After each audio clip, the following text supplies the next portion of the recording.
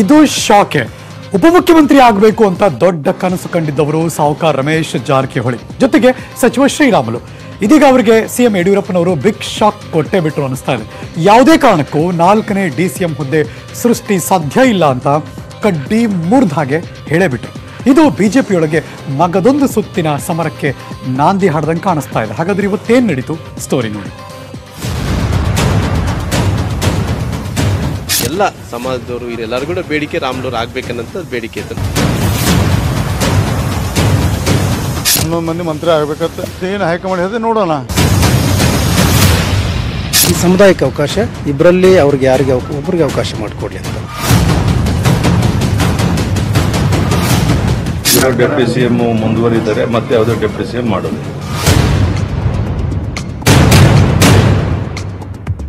CM Yediyurappa ಸಂಪುಟದಲ್ಲಿ ನಾಲ್ಕನೇ DCM ಹುದ್ದೆ ಸೃಷ್ಟಿ ಬಗ್ಗೆ ನಡೆದ ತಿಕ್ಕಾಟಗಳು, ಚರ್ಚೆಗಳು, ವಾಕ್ಸಮರಗಳು ಒಂದೆರಡಲ್ಲ. ಒಂದ್ ಕಡೆ ಸರ್ಕಾರ ರಚನೆಗೆ ಕಾರಣವಾದ ಸಾಹುಕಾರ್ ರಮೇಶ್ ಜಾರಕಿಹೊಳಿ, ಇನ್ನೊಂದ್ ಕಡೆ ಬಿಜೆಪಿಯ ಹಿರಿಯ ಸಚಿವ ಶ್ರೀರಾಮುಲು. ಒಬ್ಬರ ಮೇಲೊಬ್ಬರಂತೆ ಪೈಪೋಟಿಗೆ ಬಿದ್ದು ಡಿಸಿಎಂ ಆಗೋಕೆ ಇನ್ನಿಲ್ಲದ ಪ್ರಯತ್ನ ಪಡ್ತಿದ್ರು. ಇಬ್ಬರು ವಾಲ್ಮೀಕಿ ಸಮುದಾಯದ ಮುಖಂಡರೇ ಆಗಿರೋದ್ರಿಂದ ಇನ್ನಿಲ್ಲದ ಪೈಪೋಟಿ ಇತ್ತು. ಒಂದು ಹೆಜ್ಜೆ ಮುಂದೆ ಹೋಗಿದ್ದ ಶ್ರೀರಾಮುಲು ದೆಹಲಿಗೆ ಹೋಗಿ ಹೈಕಮಾಂಡ್ ಬಾಗಿಲು ತಟ್ಟಿ ಬಂದಿದ್ರು. ಆದ್ರೆ ಈಗ ಕಡ್ಡಿ ಮುರಿದಂತೆ ಸಿಎಂ ಯಡಿಯೂರಪ್ಪ ಶಾಕ್ ಕೊಟ್ಟಿದ್ದಾರೆ. ಈಗಾಗಲೇ ಮೂವರು ಡಿಸಿಎಂಗಳಿದ್ದಾರೆ. ಈಗ ನಾಲ್ಕನೇ ಡಿಸಿಎಂ ಹುದ್ದೆ ಸೃಷ್ಟಿ ಯಾವುದೇ ಕಾರಣಕ್ಕೂ ಅಸಾಧ್ಯ ಎಂದಿದ್ದಾರೆ. ಅದು ಕೂಡ ಸಾಹುಕಾರ್ ತವರು ಬೆಳಗಾವಿ ನೆಲದಲ್ಲೇ ನಿಂತು. ಮೂರು ಜನ, ಮತ್ತೆ ಡೆಪ್ಟಿ ಸಿ ಎಂ ಮಾಡೋದು ಮೂವರು ಮುಂದುವರಿತಾರೆ ಮೂರು ಕರ್ನಾಟಕದಲ್ಲಿ ಬಿಜೆಪಿ ಸರ್ಕಾರ ರಚನೆಗೆ ಕಾರಣವಾಗಿದ್ದೇ ರಮೇಶ್ ಜಾರಕಿಹೊಳಿ. ಶಾಸಕರನ್ನೆಲ್ಲ ಆಪರೇಷನ್ ಮಾಡಿ ಮುಂಬೈನಲ್ಲಿ ತಿಂಗಳುಗಟ್ಟಲೆ ಕಾದು ಕುಳಿತು ಶಾಸಕರಿಂದ ರಾಜೀನಾಮೆ ಕೊಡಿಸಿ ದೋಸ್ತಿ ಸರ್ಕಾರ ಬೀಳಿಸಿ ಯಡಿಯೂರಪ್ಪರನ್ನ ಸಿಎಂ ಮಾಡಿದ್ರು. ಇದೇ ಕಾರಣಕ್ಕೆ ಸಿಎಂ ಮೇಲೆ ರಮೇಶ್ ಸೇರಿದಂತೆ ಸಾಹುಕಾರ್ನ ಟೀಮ್ ಎಲ್ಲರೂ ಭಾರಿ ನಂಬಿಕೆ ಇಟ್ಕೊಂಡಿದ್ರು. ಕೊಟ್ಟ ಮಾತಿನಂತೆ ರಮೇಶ್ ಜಾರಕಿಹೊಳಿಯನ್ನ ಡಿಸಿಎಂ ಮಾಡ್ತಾರೆ ಅಂದುಕೊಂಡಿದ್ರು. ಆದ್ರೆ ಎಲ್ಲವೂ ಈಗ ತಲೆ ಕೆಳಗಾಗಿದೆ. ನಾಲ್ಕನೇ ಡಿಸಿಎಂ ಸ್ಥಾನ ಸೃಷ್ಟಿ ಇಲ್ಲ ಎನ್ನುವ ಮೂಲಕ ಡಿಸಿಎಂ ಸ್ಥಾನದ ಕನಸು ಕಾಣುತ್ತಿದ್ದ ಸಾಹುಕಾರ್ ರಮೇಶ್ ಜಾರಕಿಹೊಳಿ ಹಾಗೂ ಸಾಹುಕಾರ್ ಜೊತೆ ರೇಸ್ನಲ್ಲಿದ್ದ ಶ್ರೀರಾಮುಲುಗೂ ಮುಖ್ಯಮಂತ್ರಿ ಶಾಕ್ ಕೊಟ್ಟಿದ್ದಾರೆ. ಈ ಮೂಲಕ ವಾಲ್ಮೀಕಿ ನಾಯಕ ಜನಾಂಗದ ನಾಯಕರ ಜಗಳಕ್ಕೆ ಅಂತ್ಯ ಹಾಡಿದ್ದಾರೆ. ಇರೋ ಡೆಪ್ಟಿ ಸಿ ಎಂ ಮುಂದುವರಿದರೆ ಮತ್ತೆ ಯಾವುದೋ ಸಿ ಎಂ ಮಾಡೋದು. ಸರ್ಕಾರ ರಚನೆಯಾಗಿ ಐವತ್ತು ದಿನ ಉರುಳಿದ್ರೂ ಸಿಎಂ ಸಂಪುಟ ವಿಸ್ತರಣೆ ಮಾಡಿಲ್ಲ.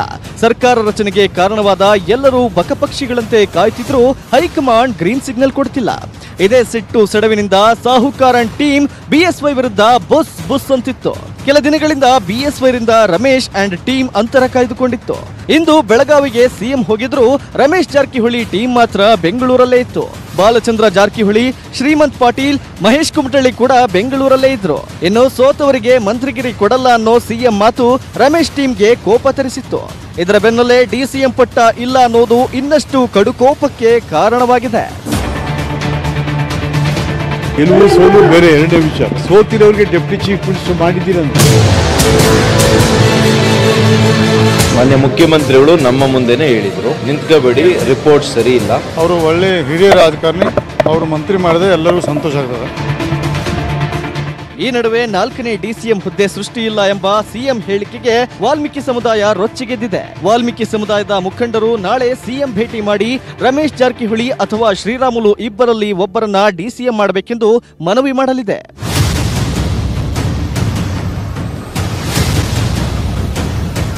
ರಾಮುಲು ಹಾಗೂ ರಮೇಶ್ ಜಾರಕಿಹೊಳಿ ಕೂಡ ಕೊತ ಕೊತ ಕುದಿಯುತ್ತಿದ್ದಾರೆ. ಯಾವ ಕ್ಷಣದಲ್ಲಿ ಸಾಹುಕಾರ್ ಟೀಮ್ ಏನ್ ಮಾಡುತ್ತೋ ಅನ್ನೋ ಆತಂಕವಂತೂ ಸಿಎಂಗೆ ಇದ್ದೇ ಇದೆ. ಈ ಆತಂಕದ ನಡುವೆಯೇ ನಾಳೆ ಬೆಳಿಗ್ಗೆ ಸಿಎಂ ಯಡಿಯೂರಪ್ಪ ದೆಹಲಿಗೆ ಹೋಗಿ ಪಕ್ಷದ ರಾಷ್ಟ್ರೀಯ ಅಧ್ಯಕ್ಷ ಜೆಪಿ ನಡ್ಡಾ ಜೊತೆ ಮಾತನಾಡಿದ ಸಚಿವರ ಪಟ್ಟಿಯನ್ನ ಫೈನಲ್ ಮಾಡಿಸಿಕೊಂಡು ಗ್ರೀನ್ ಸಿಗ್ನಲ್ ಪಡೆಯಲಿದ್ದಾರೆ. ಡೆಲ್ಲಿಗೆ ಹೋಗ್ತಾ ಇದ್ದೇನೆ. ಮಂತ್ರಿಮಂಡಲದ ವಿಸ್ತರಣೆ ಬಗ್ಗೆ ನಾಳೆ ನಡ್ಡಾ ಅವ್ರನ್ನ ಅಮಿತ್ ಶಾ ಅವ್ರನ್ನ ಪ್ರಧಾನಿ ಅವ್ರನ್ನ ಭೇಟಿ ಮಾಡಿ ಇನ್ನೊಂದೆರಡು ದಿವಸದಲ್ಲಿ ಕ್ಯಾಬಿನೆಟ್ ವಿಸ್ತರಣೆ ಮಾಡೋ ದೃಷ್ಟಿಯಿಂದ ಡೆಲ್ಲಿಗೆ ಹೋಗಿ ನಾಡಿದ್ದು ವಾಪಸ್ ಬೆಂಗಳೂರು ಬರ್ತಾ ಇದ್ದೇನೆ. Bureau report news eighteen Kannada. ಉಪಮುಖ್ಯಮಂತ್ರಿ ಆಗಬೇಕು ಅನ್ನೋ ಆಸೆಯಲ್ಲಿದ್ದರು ಸಾವುಕಾರ ರಮೇಶ್ ಜಾರಕಿಹೊಳಿ ಅವರು. ಈಗ ಮುಖ್ಯಮಂತ್ರಿಗಳಂತೂ ಸಾವುಕಾರ್ಗಷ್ಟೇ ಅಲ್ಲ, ಸಾವುಕಾರ್ ಟೀಮ್ಗೂ ಕೂಡ ಶಾಕ್ ಕೊಟ್ಟಿದ್ದಾರೆ. ಗೆದ್ದವರಲ್ಲಿ ಒಂದಿಬ್ಬರನ್ನ ಮಂತ್ರಿ ಮಾಡೋದು ಕಷ್ಟ ಅಂತ ಹೇಳಿಕೆ ಕೊಟ್ಟರು ಈ ಮೂಲಕ ಸಚಿವ ಸ್ಥಾನದ ಆಸೆಯಲ್ಲಿದ್ದ ಶಾಸಕರಿಗೆ ನಿರಾಸೆ ಕೂಡ ಆಯಿತು. ಹಾಗಾದರೆ ಯಾರಿಗೆ ಸಚಿವ ಸ್ಥಾನ ಸಿಗಲ್ಲ ಅನ್ನೋದು ವೆರಿ ಇಂಟ್ರೆಸ್ಟಿಂಗ್ ರಿಪೋರ್ಟ್ ಇಲ್ಲಿದೆ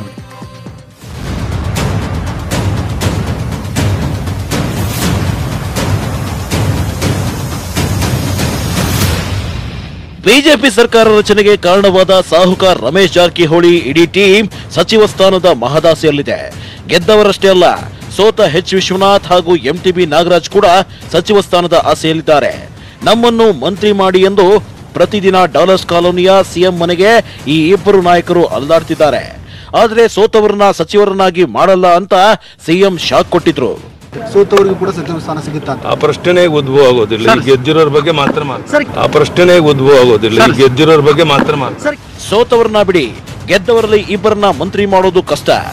ಗೆದ್ದವರಲ್ಲಿ ಒಂದಿಬ್ಬರನ್ನ ಕೈ ಬಿಡೋ ಬಗ್ಗೆ ಚರ್ಚೆ ನಡೆದಿದೆ ಅಂತ ಖುದ್ದು ಸಿಎಂ ಇಂದು ಬೆಳಗಾವಿಯಲ್ಲಿ ಮತ್ತೊಂದು ಶಾಕ್ ಕೊಟ್ಟಿದ್ದಾರೆ. ಉಪಚುನಾವಣೆ ಗೆದ್ದರು ಹನ್ನೊಂದು ಜನ ಮಂತ್ರಿ ಆಗ್ತಾರೆ. ನೋಡೋಣ, ಏನಾದರೂ ಒಬ್ಬಿಬ್ಬರನ್ನ ಕೈ ಬಿಡಬೇಕು ಅಂತ ಏನಾದ್ರು ಡೆಲ್ಲಿಯವರು ಅಪೇಕ್ಷೆ ಪಟ್ಟರೆ ಗೊತ್ತಿಲ್ಲ. ನೋಡೋಣ, ಏನಾದರೂ ಒಬ್ಬಿಬ್ಬರನ್ನ ಕೈ ಬಿಡಬೇಕು ಅಂತ ಏನಾದ್ರು ಡೆಲ್ಲಿಯವರು ಅಪೇಕ್ಷೆ ಪಟ್ಟರೆ ಗೊತ್ತಿಲ್ಲ. ಹಾಗಿದ್ರೆ ಗೆದ್ದವರಲ್ಲಿ ಯಾವ ಇಬ್ಬರನ್ನ ಸಿಎಂ ಕೈ ಬಿಡಬಹುದು ಅನ್ನೋದನ್ನ ನೋಡೋದಾದ್ರೆ, ಯಶವಂತಪುರ ಶಾಸಕ S T Somashekar, Mahalakshmi layout ಶಾಸಕ ಕೆ ಗೋಪಾಲಯ್ಯ ಹಾಗೂ ಯಲ್ಲಾಪುರ ಶಾಸಕ ಶಿವರಾಮ್ ಹೆಬ್ಬಾರ್ ಹೆಸರು ಚಾಲ್ತಿಯಲ್ಲಿವೆ.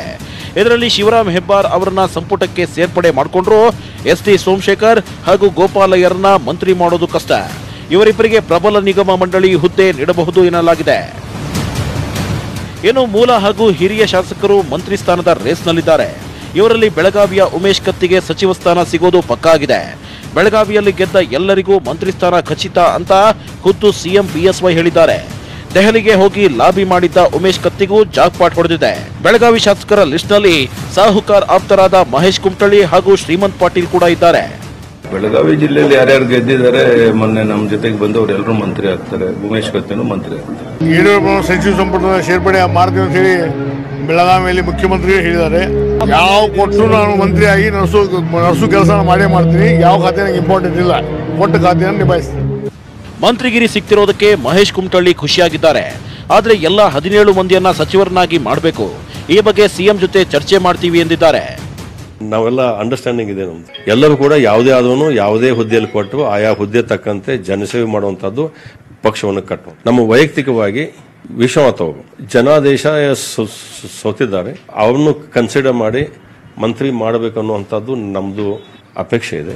ಗೆದ್ದವರಿಗೆಲ್ಲ ಮಂತ್ರಿ ಮಾಡಬೇಕೆಂಬ ರಮೇಶ್ ಟೀಮ್ ಹೇಳಿಕೆ ಕೆಲ ಮೂಲ ಬಿಜೆಪಿಗರನ್ನ ಕೆರಳುವಂತೆ ಮಾಡಿದೆ.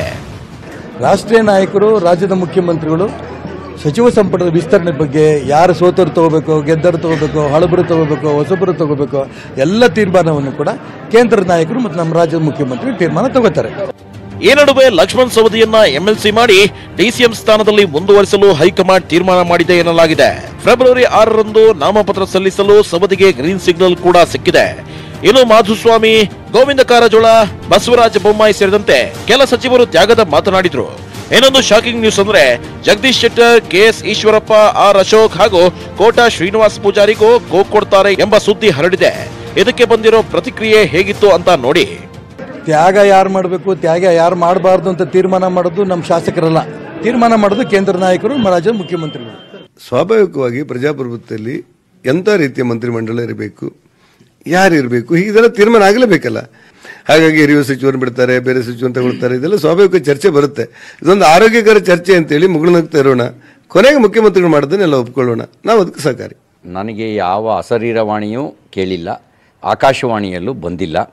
ಹಾಗಾಗಿ ಊಹಾತ್ಮಕವಾಗಿರ್ತಕ್ಕಂಥ ಪ್ರಶ್ನೆಗಳಿಗೆ ನನ್ನಂಥವನು ಉತ್ತರಿಸಬಾರ್ದು. ಕೇವಲ ಕಪೋಲ ಕಲ್ಪಿರ್ತಕ್ಕಾಗಿರ್ತಕ್ಕಂಥ ಊಹೆ. ವಾಸ್ತವಿಕ ಸತ್ಯವನ್ನು ತೀರ್ಮಾನಿಸಬೇಕಾಗಿರೋದು ಮಾನ್ಯ ಮುಖ್ಯಮಂತ್ರಿಗಳು ಮತ್ತು ಪಕ್ಷದ ವರಿಷ್ಠರು. ಒಟ್ಟಲ್ಲಿ ಗೆದ್ದ ಹನ್ನೊಂದು ಮಂದಿಯಲ್ಲಿ ಇಬ್ಬರಿಗೆ ಸಚಿವ ಸ್ಥಾನ ಸಿಗೋದು ಹೆಚ್ಚು ಕಡಿಮೆ ಡೌಟ್. ಹಿರಿಯರಲ್ಲಿ ಉಮೇಶ್ ಕತ್ತಿ ಹೆಸರು ಸಚಿವ ಸ್ಥಾನಕ್ಕೆ ಫೈನಲ್ ಆದಂತಾಗಿದೆ. ಇನ್ನುಳಿದವರಲ್ಲಿ ಯಾರಿಗೆ ಮಂತ್ರಿ ಭಾಗ್ಯವಿದೆಯೋ, ಯಾರಿಗೆ ಇಲ್ಲವೋ ಅನ್ನೋದು ಶುಕ್ರವಾರ ಗೊತ್ತಾಗಲಿದೆ. Bureau report, news eighteen Kannada. ಬರೋಬ್ಬರಿ ಆರೂವರೆ ವರ್ಷಗಳ ಕಾವೇರಿ ಕದನ ಅಂತ್ಯ ಆಯಿತು. ಇದ್ಯಾವ ಕಾವೇರಿ ಅಂತ ಯೋಚನೆ ಮಾಡಬೇಡಿ. ಇದು ಕಾವೇರಿ ನಿವಾಸದ ಕಥೆ. ಈ ನಿವಾಸ ಖಾಲಿ ಮಾಡಿದ್ದಾರೆ ಸಿದ್ದರಾಮಯ್ಯನವರು. ವಿಪಕ್ಷ ನಾಯಕರ ಅಧಿಕೃತ ನಿವಾಸಕ್ಕೆ ಇವತ್ತು ಶಿಫ್ಟ್ ಆದರು. ಶಾಸ್ತ್ರಗಳ ಪ್ರಕಾರ ತಮಗೆ ಅದೃಷ್ಟ ತಂದು ಕೊಟ್ಟಿದ್ದ ಹಳೆಯ ಮನೆ ಪ್ರವೇಶವನ್ನು ಮಾಡಿದ್ದಾರೆ.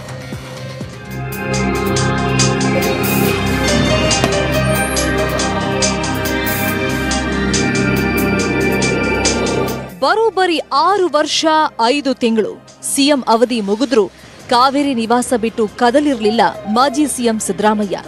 ಕುಮಾರಸ್ವಾಮಿ ಸಿಎಂ ಆಗಿದ್ದಾಗ್ಲೂ ಇದೇ ಕಾವೇರಿ ನಿವಾಸದಲ್ಲೇ ಇದ್ರು. ಕಾವೇರಿ ನಿವಾಸ ಖಾಲಿ ಮಾಡಿ ಅಂತ ಎಷ್ಟೇ ಒತ್ತಡ ಬಂದ್ರೂ ಮನೆ ಬಿಟ್ಟಿರಲಿಲ್ಲ. ಸರ್ಕಾರಿ ಬಂಗಲೆ ಖಾಲಿ ಮಾಡಿ ಅಂತ ಖುದ್ದು ಸರ್ಕಾರದಿಂದ ಪತ್ರ ಬಂದ್ರು ಜಪ್ಪಯ್ಯ ಅಂದಿರಲಿಲ್ಲ Siddaramaiah.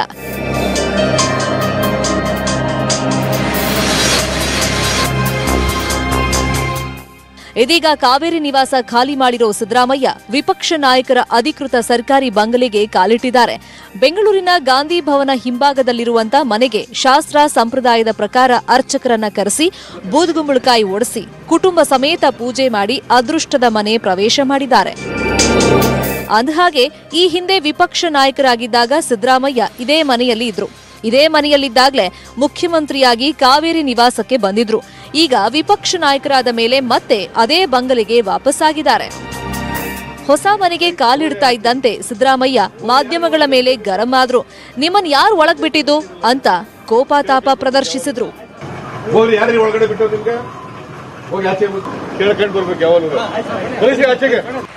Krishna G V political bureau news eighteen Kannada.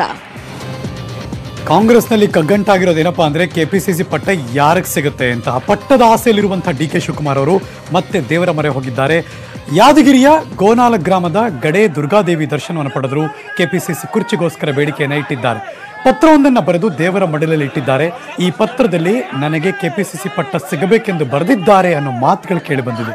ದೇವರ ಗರ್ಭಗುಡಿಯೊಳಗೆ ಸುಮಾರು ಹದಿನೈದು ನಿಮಿಷ ವಿಶೇಷ ಪೂಜೆಯನ್ನು ಮಾಡಿ ಬೇಡಿಕೊಂಡಿದ್ದಾರೆ.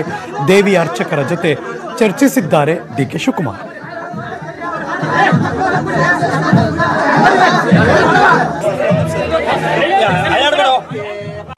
ದೇವಿ ದರ್ಶನ ಮಾಡಿದ್ದೇನೆ. ಎಲ್ಲ ದುಃಖವನ್ನ ದೂರ ಮಾಡಿ ರಾಜ್ಯಕ್ಕೆ ಸಮೃದ್ಧಿಯನ್ನು ದೇವಿ ದರ್ಶನ ಮಾಡಿದ್ದೇನೆ. ಎಲ್ಲ ದುಃಖವನ್ನ ದೂರ ಮಾಡಿ ರಾಜ್ಯಕ್ಕೆ ಸಮೃದ್ಧಿಯನ್ನು ನಮ್ಮ ರಾಜ್ಯದಲ್ಲಿ ಎರಡೆರಡು ಮೂರು ಮೂರು ಸರ್ಕಾರ ಚೇಂಜ್ ಆಯಿತು, ಆದರೆ ಆ ಕಾಮಗಾರಿ ಮಾತ್ರ ಮುಗಿಲಿಲ್ಲ. ಇಡೀ ಕರಾವಳಿ ಜನ ದೊಡ್ಡ ಮಟ್ಟದಲ್ಲಿ ಬೇಡ್ಕೋತಾ ಇದ್ರು ಬಹು ನಿರೀಕ್ಷೆಯಲ್ಲಿ ಅಂದರೆ ಅದು ಪಂಪ್ ವೆಲ್ ಫ್ಲೈಓವರ್ ಆಗಬೇಕು ಅಂತ. ಒಂದ ಎರಡ ಹತ್ತು ವರ್ಷದ ಬೇಡಿಕೆ ಅದು. ಫೈನಲಿ ಆಗ್ತಾ ಇದೆ. ಟ್ರೋಲಿಗರು ಒಂದಷ್ಟು ನಿರಾಳರಾಗಿರ್ಬೋದೇನೋ ಗೊತ್ತಿಲ್ಲ. ನ್ಯೂಸ್ ತೊಗೊಂಬರ್ತೀನಿ. ಚಿಕ್ಕ ಬ್ರೇಕ್. ಕಾಯ್ತಾ ಇದೆ ವೆಲ್ಕಮ್ ಬ್ಯಾಕ್ ಕರಾವಳಿ ಭಾಗದ ಜನರ ಬಹುನಿರೀಕ್ಷೆಯ ಕನಸು ಏನಪ್ಪಾ ಅಂದರೆ ಅದು ಪಂಪ್ವೆಲ್ ಫ್ಲೈಓವರ್ ಆಗಬೇಕು ಅಂತ ಕಾಮಗಾರಿ ಫೈನಲಿ ಪೂರ್ಣಗೊಂಡಿದೆ. ಹತ್ತು ವರ್ಷ ಬೇಕಾಯಿತು ಹಂಗೆ ನೋಡಕ್ ಹೋದ್ರೆ ಫ್ಲೈಓವರ್ ಕಾಮಗಾರಿ ಫೈನಲಿ ಪೂರ್ಣ ಆಯಿತು. ಇದೇ ಮೂವತ್ತೊಂದನೇ ತಾರೀಕು ಉದ್ಘಾಟನೆ ಆಗ್ತಾ ಇದೆ. ಈ ಮೂಲಕ ಆ ಭಾಗದ ಜನನಾಯಕರು ಅಬ್ಬಾ ಸದ್ಯ ಟ್ರೋಲ್ ಮಾಡೋರಿಂದ ಸೇಫ್ ಆದ್ವಿ ಅಂತಿದ್ದಾರೆ.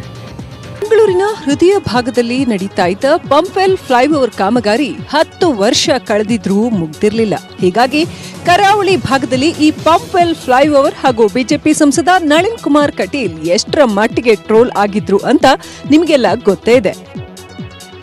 ಇದೀಗ ಪಂಪ್ವೆಲ್ ಫ್ಲೈಓವರ್ ಕಾಮಗಾರಿ ಪೂರ್ಣಗೊಂಡಿದೆ. ನೆಟ್ಟಿಗರ ಭಾರೀ ಟ್ರೋಲ್ಗೆ ಒಳಗಾಗಿದ್ದ ಸಂಸದ ನಳಿನ್ ಕುಮಾರ್ ಕಟೀಲ್ ಬಚಾವಾಗಿದ್ದಾರೆ. ಹತ್ತು ವರ್ಷಗಳ ಕಾಲ ಸಾಗಿದ ಕಾಮಗಾರಿ ಕೊನೆಗೂ ಮುಗಿದಿದ್ದು ಇದೇ ಮೂವತ್ತೊಂದಕ್ಕೆ ಉದ್ಘಾಟನೆಯಾಗಲಿದೆ. ಇದರಿಂದ ಮಂಗಳೂರು ಜನಕ್ಕೆ ಖುಷಿಯಾಗಿದೆ. ಡಿಸೆಂಬರ್ ಅಲ್ಲಿ ಮುಗಿಬೇಕಾದದ್ದು ಈಗ ಜಾನ್ ಎಂಡಿಗೆ ಆಗ್ತಾ ಇದೆ. ಸೊ ಕಡೆಗೂ ನಮ್ಮ ಎಂ ಪಿ ಎಚ್ಚೆತ್ತುಕೊಂಡಿದ್ದಾರೆ. ಅವರಿಂದ ಕೆಲಸ ಆಗ್ತಾ ಇದೆ ಅಂತ ಹೇಳುವಂಥದ್ದು ದೊಡ್ಡ ವಿಷಯ. ಹತ್ತು ವರ್ಷ ಬೇಕಾಯಿತು. ಇಷ್ಟೆಲ್ಲ ಟ್ರೋಲ್ಗಳು ಬೇಕಿತ್ತ ಅಂತ ಹೇಳುವಂತದ್ದು ಹತ್ತಾರು ಗಡುವು ಕೊಟ್ಟರು ಕೆಲಸವಾಗಿರಲಿಲ್ಲ. ಹೀಗಾಗಿ ಸಂಸದ ನಳಿನ್ ಕುಮಾರ್ ಕಟೀಲ್ ಫ್ಲೈಓವರ್ ಕೆಲಸದ ಮೇಲುಸ್ತುವಾರಿಯನ್ನ ಜಿಲ್ಲಾಡಳಿತಕ್ಕೆ ನೀಡಿದ್ರು. ಆರ್ನೂರು ಮೀಟರ್ ಉದ್ದ, ಇಪ್ಪತ್ತು ಮೀಟರ್ ಅಗಲದ ಫ್ಲೈಓವರ್ ಕಾಮಗಾರಿಯ ಪ್ರತಿ ದಿನದ ಕೆಲಸದ ವಿವರವನ್ನ ನವಯುಗ ಕಂಪನಿ ಅಧಿಕಾರಿಗಳು ಜಿಲ್ಲಾಧಿಕಾರಿಗೆ ಕೊಡಬೇಕಿತ್ತು. ಭಾರೀ ಒತ್ತಡದ ತರಾತುರಿಯಲ್ಲಿ ಹಗಲು ರಾತ್ರಿ ಕೆಲಸ ಮಾಡಿ ಫ್ಲೈಓವರ್ ರೆಡಿ ಮಾಡಲಾಗಿದೆ. ಆದರೆ ಫ್ಲೈಓವರ್ ಗುಣಮಟ್ಟದ ಪ್ರಶ್ನೆ ಎದ್ದಿದೆ ಜಿಲ್ಲಾಡಳಿತ ಒಂದು ತಿಂಗಳು, ಒಂದೂವರೆ ತಿಂಗಳು ಇದನ್ನು ಪೂರ್ಣಗೊಳಿಸಿದರೆ, ಆದರೆ ಇದರ ಕೆಲವು ಪ್ರಶ್ನೆಗಳು ಎದ್ದೇಳ್ತವೆ ಈ ಫ್ಲೈಓವರ್ ಎಷ್ಟರ ಮಟ್ಟಿಗೆ ಅದು ಫಿನಿಶ್ ಆಗಿರ್ಬೋದಂತ ನನ್ನದೊಂದು ಪ್ರಶ್ನೆ. ಯಾಕೆಂದರೆ ಅಷ್ಟು ವೇಗ ರೀತಿಯಲ್ಲಿ ಅದನ್ನು ಪೂರ್ಣಗೊಳಿಸಿದ್ದಾರೆ. ಇದರಲ್ಲಿ ತುಂಬ ಲೂಪ್ ಹೋಲ್ಸ್ಗಳು ಇರಬಹುದು ಒಟ್ನಲ್ಲಿ ನಿಧಾನಗತಿಯ ಕಾಮಗಾರಿಯಿಂದಲೇ ಕುಖ್ಯಾತಿಯಾಗಿದ್ದ ಮಂಗಳೂರಿನ ಪಂಪ್ವೆಲ್ ಫ್ಲೈಓವರ್ ಮೇಲೆ ಇನ್ನೆರಡು ದಿನಗಳಲ್ಲಿ ವಾಹನಗಳು ಓಡಾಡ್ತವೆ ಅನ್ನೋದೇ ಖುಷಿ ವಿಚಾರ. Kishan Shetty news eighteen Kannada, Mangaluru. ಇತ್ತೀಚೆಗೆ ಕೇಂದ್ರ ಸರ್ಕಾರದವರು ಪದ್ಮಶ್ರೀ ಮತ್ತು ಪದ್ಮಭೂಷಣ ಪ್ರಶಸ್ತಿಯನ್ನು ಅನೌನ್ಸ್ ಮಾಡಿದ್ರು. ಕರ್ನಾಟಕದಲ್ಲಿ ತುಂಬ ಜನಕ್ಕೆ ಬಂದಿದೆ. ಆದರೆ ಎಲ್ಲರ ಒಂದು ಒತ್ತಡ ಇತ್ತು, ಈಗಲೂ ಕೂಡ ಅದಿದೆ. ಅದು ತುಮಕೂರಿನ ಸಿದ್ಧಗಂಗಾ ಶ್ರೀಗಳಿಗೆ ಭಾರತ ರತ್ನ ಪ್ರಶಸ್ತಿ ಕೊಡಬೇಕು ಅಂತ ಮತ್ತೆ ಹಾಕೋಕೆ ಶುರುವಾಗ್ತಾ ಇದೆ. ಯಾರು ಮಾತಾಡಿದ್ರು, ಏನಾಯ್ತು ನಿಮ್ಮ ಮುಂದೆ ಇಡ್ತೀನಿ ಬ್ರೇಕ್ ಆದ್ಮೇಲೆ ಕಾಯ್ತಾ ಇದೆ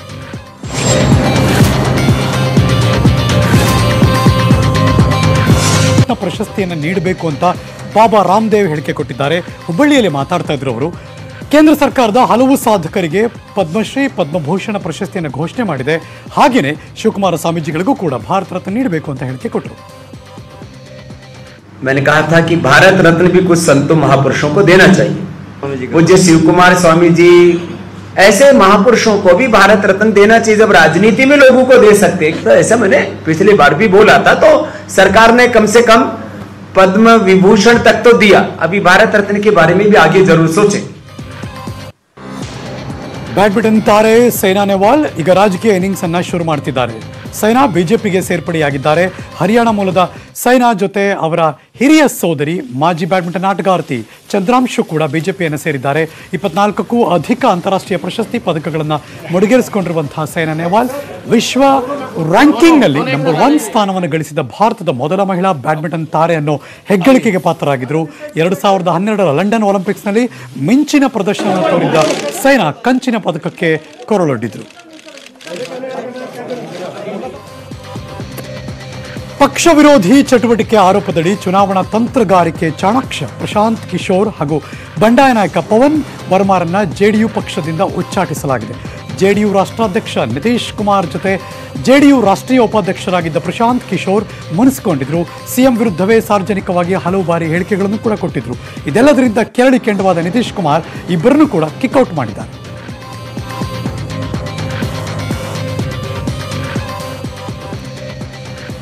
ಇವತ್ತಿ ನ್ಯೂಸ್ ಹೇಳಲೇಬೇಕು, ಯಾಕೆಂದರೆ ಕೇರಳದ ದೊಡ್ಡ ಹೈಡ್ರಾಮಾ ಸ್ಟೋರಿ ಇದು. ಸಿಎಎನ ಖಂಡಿಸಿ ಕೇರಳ ವಿಧಾನಸಭೆಯಲ್ಲಿ ದೊಡ್ಡ ಹೈಡ್ರಾಮಾ ನಡೀತು. ಬಜೆಟ್ ಅಧಿವೇಶನದ ಆರಂಭಕ್ಕೂ ಮುಂಚೆ ರಾಜ್ಯಪಾಲರು ಭಾಷಣ ಮಾಡೋದಕ್ಕೆ ಆಗಮಿಸ್ತಾ ಇದ್ದ ಹಾಗೆಯೇ ಗೋ ಬ್ಯಾಕ್ ಗವರ್ನರ್ ಅಂತ ಘೋಷಣೆಯನ್ನು ಮೊಳಗಿಸಿದ್ರು. ನಾವು ಪೌರತ್ವ ತಿದ್ದುಪಡಿ ಕಾಯ್ದೆ ವಿರುದ್ಧ ನಿಂತಿದ್ದೇವೆ. ಕೇಂದ್ರ ಸರ್ಕಾರ ಈ ಕೂಡಲೇ ಗವರ್ನರ್ನ ವಾಪಸ್ ಕರೆಸ್ಕೊಳ್ಬೇಕು ಅಂತ ವಿರುದ್ಧವನ್ನು, ಅಂದರೆ ವಿರೋಧವನ್ನು ಯು ಡಿ ಎಫ್ ಶಾಸಕರು ಪಟ್ಟು ಹಿಡಿದು ಗಲಾಟೆ ಮಾಡಿದ್ರು. ಈ ಸಂದರ್ಭದಲ್ಲಿ ಸುಮ್ಮನಿರ್ತಾರ ದೊಡ್ಡ ಗಲಾಟೆನೇ ಆಯಿತು.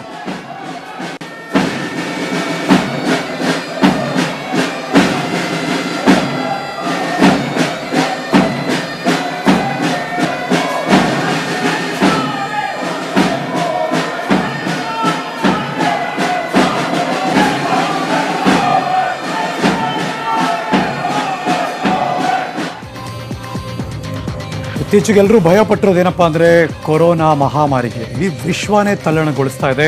ಚೀನಾದಲ್ಲಂತೂ ಈ ವೈರಸ್ಗೆ ನೂರ ಮೂವತ್ತೆರಡು ಜನ ಬಲಿಯಾಗಿದ್ದಾರೆ. ಆರು ಸಾವಿರಕ್ಕೂ ಹೆಚ್ಚು ಮಂದಿಯಲ್ಲಿ ಸೋಂಕು ಪತ್ತೆಯಾಗಿದೆ. ಚೀನಾದಲ್ಲಿರುವಂತಹ ಭಾರತೀಯರನ್ನ ವಾಪಸ್ ಕರೆಸಿಕೊಳ್ಳಲಾಗ್ತಾ ಇದೆ. ಈ ಮಧ್ಯೆ ಬೆಂಗಳೂರಿಗೂ ಕೊರೋನಾ ಎಂಟ್ರಿ ಕೊಟ್ಟರು ಆತಂಕ ಕೂಡ ಶುರುವಾಗಿದೆ. ಚೀನಾ ಪ್ರವಾಸಿಯೊಬ್ಬರಿಗೆ ರಾಜೀವ್ ಗಾಂಧಿ ಆಸ್ಪತ್ರೆಯಲ್ಲಿ ತಪಾಸಣೆ ನಡೆಸಲಾಗ್ತಾ ಇದೆ. ಇನ್ನು ಕೊರೋನಾ ತಡೆಗೆ ಹೋಮಿಯೋಪತಿ ಯುನಾನಿ ಔಷಧಿ ಬಳಸಬೇಕು ಅಂತ ಕೇಂದ್ರ ಸರ್ಕಾರ ಆಯುಷ್ ಇಲಾಖೆ ಮೂಲಕ ಸುತ್ತೋಲೆ ಕೂಡ ಹೊರಡಿಸಿದೆ. ಇವತ್ತು ಸ್ಪೋರ್ಟ್ಸ್ ಸುದ್ದಿ ಇದೆ. ನ್ಯೂಜಿಲೆಂಡ್ ನೆಲದಲ್ಲಿ ಟೀಂ ಇಂಡಿಯಾ ಐತಿಹಾಸಿಕ ಗೆಲುವನ್ನು ದಾಖಲು ಮಾಡಿದೆ. ಐದು ಪಂದ್ಯಗಳ ಟಿ ಟ್ವೆಂಟಿ ಸರಣಿಯಲ್ಲಿ ಹ್ಯಾಟ್ರಿಕ್ ಗೆಲುವು ಸಾಧಿಸುವ ಮೂಲಕ ಕಿವೀಸ್ ಪಡೆಗೆ ಬಿಗ್ ಶಾಕ್ ಅನ್ನು ಕೊಟ್ಟರು ಬ್ಲೂ ಬಾಯ್ಸ್ ಮೊದಲು ಬ್ಯಾಟಿಂಗ್ ಮಾಡಿದ ಟೀಂ ಇಂಡಿಯಾ ನೂರ ಎಂಬತ್ತು ರನ್ ಕಲೆ ಹಾಕ್ತು. ಈ ಗುರಿ ಬೆನ್ನತ್ತಿದ ನ್ಯೂಜಿಲೆಂಡ್ ಆರಂಭದಲ್ಲಿ ಆಘಾತ. ಕೊನೆಯ ಓವರ್ನಲ್ಲಿ ಕರಾರುವಕ್ಕಾದ ದಾಳಿ ನಡೆಸಿ ಶಮಿ ಮ, ಟೈಲರ್ ಹಾಗೂ ವಿಲಿಯಮ್ಸ್ ವಿಕೆಟ್ ಅನ್ನು ಕೀಳೋ ಮೂಲಕ ಪಂದ್ಯವನ್ನು ಡ್ರಾ ಮಾಡಿದ್ರು. ಅದಾದ್ಮೇಲೆ ಸೂಪರ್ ಓವರ್ ಶುರುವಾಯಿತು. ನ್ಯೂಜಿಲೆಂಡ್ ಹದಿನೇಳು ರನ್ಗಳ ಟಾರ್ಗೆಟ್ ಕೊಡ್ತು. ಈ ಗುರಿಯನ್ನು ಬೆಂದಿದ್ದ ಟೀಮ್ ಇಂಡಿಯಾ ರೋಹಿತ್ ಶರ್ಮಾರ ಅಬ್ಬರದ ಆಟದಿಂದ ಗೆಲುವಿನ ನಗೆ ಬೀರ್ತ. ಇವತ್ತವರು ರೋಹಿತ್ ಶರ್ಮಾ ರೋಹಿಟ್. ಈ ಪಂದ್ಯದಲ್ಲಿ ಎರಡೂ ದಾಖಲೆಗಳು ಕೂಡ ಬ್ರೇಕ್ ಆಯಿತು. ವಿರಾಟ್ ಕೊಹ್ಲಿ ಟಿ ಟ್ವೆಂಟಿ ಕ್ರಿಕೆಟ್ನಲ್ಲಿ ಭಾರತದ ಪರ ಅತಿ ಹೆಚ್ಚು ರನ್ ಗಳಿಸಿದ ನಾಯಕ ಅನಿಸ್ಕೊಂಡ್ರೆ ರೋಹಿತ್ ಶರ್ಮಾ ಅಂತಾರಾಷ್ಟ್ರೀಯ ಕ್ರಿಕೆಟ್ನಲ್ಲಿ ಆರಂಭಿಕರಾಗಿ ಹತ್ತು ಸಾವಿರ ರನ್ ಪೂರೈಸಿದ್ರು. ಒಂದಿರ್ತಿ last ball last over T twenty excitement ಇದ್ದೇ ಇತ್ತು. ಇದಾಗಿತ್ತು ಇವತ್ತಿನ ಅಗ್ರ ರಾಷ್ಟ್ರೀಯ ವಾರ್ತೆ. ಮುಗಿಸಿ ನಾನು ಹೋಗಿ ಬರ್ತೀನಿ. ಕೆಲವೇ ಕ್ಷಣದಲ್ಲಿ ಬಿಗ್ ಸ್ಟೋರಿನಲ್ಲಿ ಮುಂದೆ ಬರ್ತಾ ಇದೆ ಕೋಬ್ರಾ ವಾರ್ ನೋಡೋದನ್ನು ಮಾತ್ರ ಮಿಸ್ ಮಾಡಬೇಡಿ. ಪಕ್ಕಾ ಸುದ್ದಿಗೆ ನೋಡ್ತಾ ಇರಿ. News eighteen Kannada. ಜಾಲ ನಮ್ಮದು, ಬಲ ನಿಮ್ಮದು.